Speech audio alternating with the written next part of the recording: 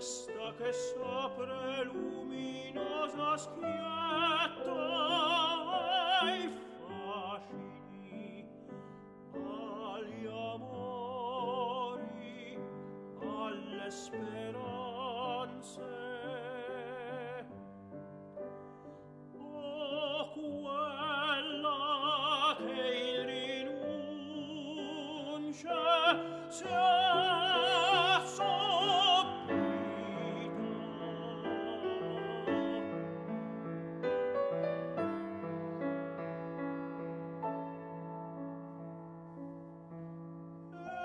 semplicità timida e queta che si trabanda come ammonimento come un segreto di virtù segreta perché ognuno raggiunga la sua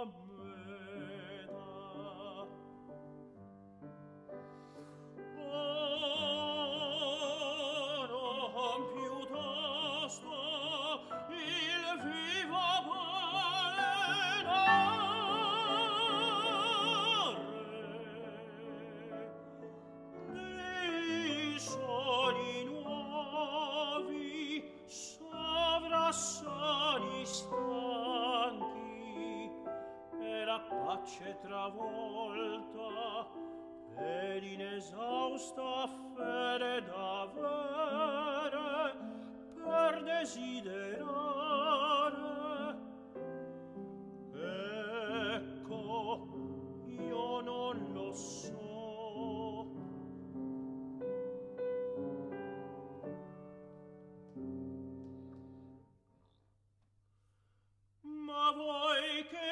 siete all'altra sponda.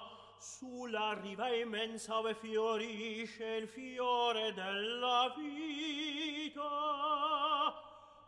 Son cielo